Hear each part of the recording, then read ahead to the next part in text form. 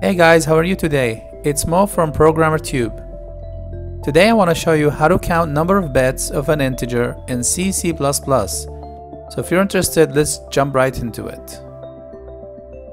This video is going to be based on our previous video on how to print out a number in binary format in C, C++. So make sure to watch that video first before you watch this one.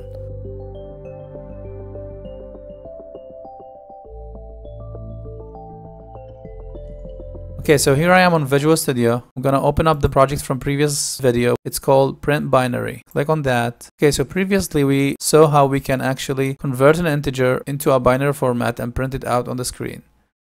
Today, let's see how we can actually count the number of bits inside a decimal integer. So let's create together a function called bit count. So let's say we give it an integer number n. We want to return to the caller the number of bits inside that number. So how do we solve this? One way to solve it is to consider the size of this integer in binary format.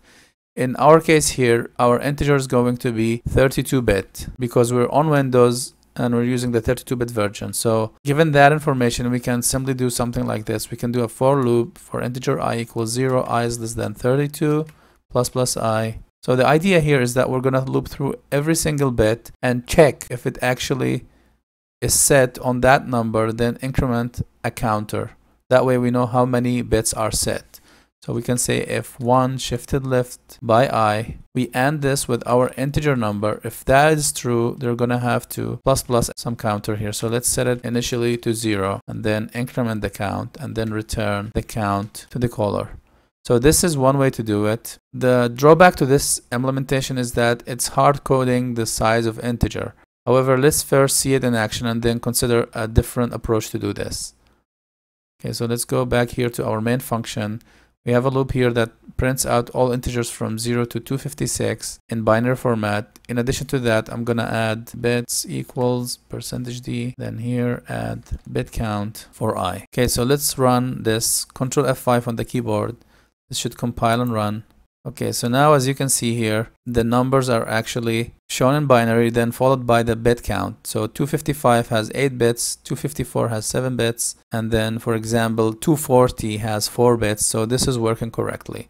Let's check the numbers at the beginning. Here 0 has 0 bits, 1 has 1 bit, 3 has 2 bits, 4 has 1, 5 has 2, 7 has 3. So this is working correctly. Alright, so let's go back to our function here.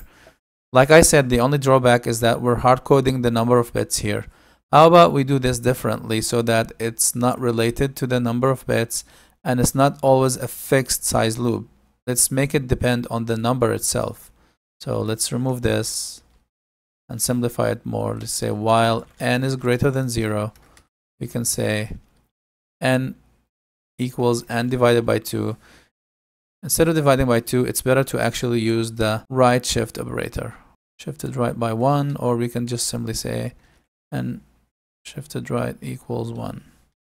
Now we can here say if n and 1, we always look at the rightmost bit and see if it's set or not. In that case, if it's set, we just say count plus plus. Then n should be divided by 2 by shifting it one bit to the right this loop is going to be dependent on n so it's not going to always be a for loop of 32-bit iterations plus it's not tied to the number of bits. So let's run this and see how it goes. Control F5 yes. Okay so here as you can see it's given me the same output and it's different implementation for the same function. The very bottom here 255 is 8 bits and then 240 is 4 bits. So yeah, this is another way to implement this. And I think this is a similar way to do it. There are many ways to implement this. However, I just wanted to show you two different ways to do it in this video.